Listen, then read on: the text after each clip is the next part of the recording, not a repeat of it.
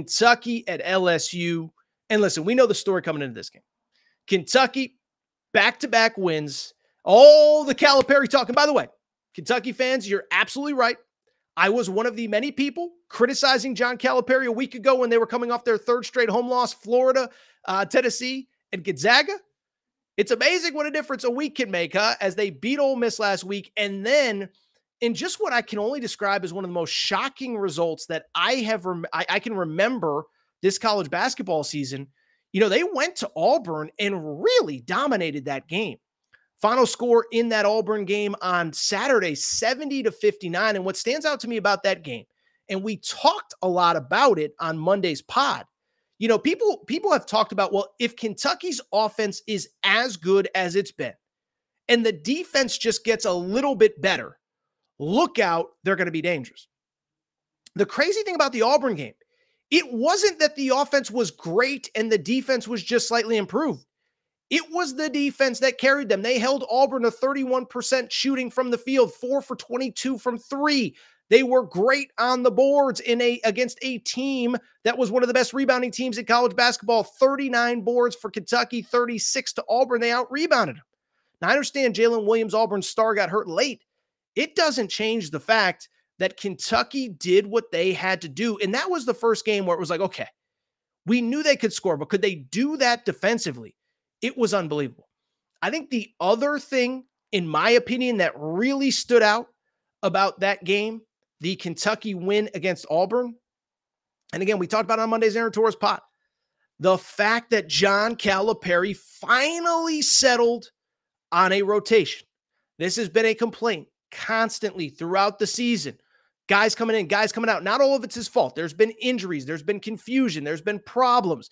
Guys are weirdly out for a game and then all of a sudden they're back. Guys have weird injuries that nobody really knows much about. So I get it's not all on Cal. But this game, even without Tre Mitchell, against Auburn, they basically played seven guys. They had the starting five of DJ Wagner, Justin Edwards, uh, Antonio Reeves, Adou Thiero, and Ugonna Onyenso. Then they had Reed Sheppard and Rob Dillingham off the bench. And Aaron Bradshaw played like three minutes, and Big Z played like three minutes, and that was it. Now, I know, I get it.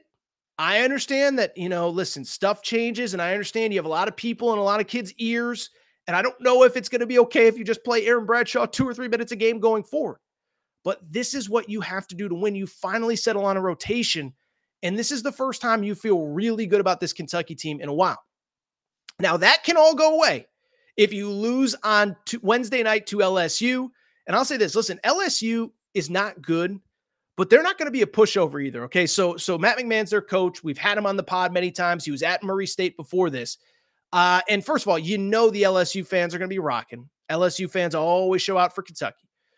But the thing about LSU this year started three and one in league play. They are struggling as of right now.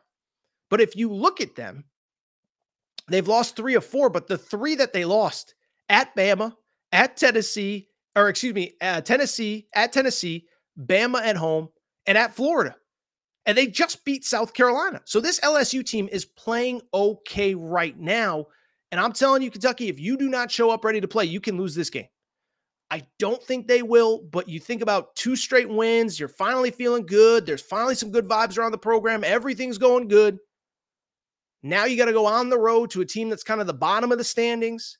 You got Alabama coming to Lexington on Saturday. This just feels like the trap of all traps. And it's funny, I was listening to my buddy Doug Gottlieb from Fox Sports Radio, who I'm actually filling in for on Fox Sports Radio on Wednesday. Um, but I just bring it up because Doug said this. He said, all those Kentucky guys, they've been the star of every place that they've ever been. And the big stages, like in Auburn, like uh, who, whatever, at Tennessee later in the year, at Arkansas, those aren't the ones that you got to worry about with those kids. They'll be ready to play in those big games.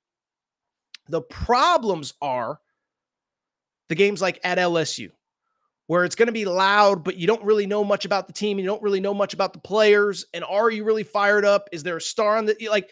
This is a game that if you're Kentucky, there's just no excuses. You have to be ready to go. You have to win this game.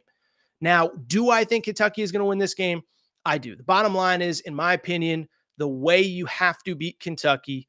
You have to be able to be good enough defensively, which LSU is, reasonably good, 88th in the country in field goal percentage defense.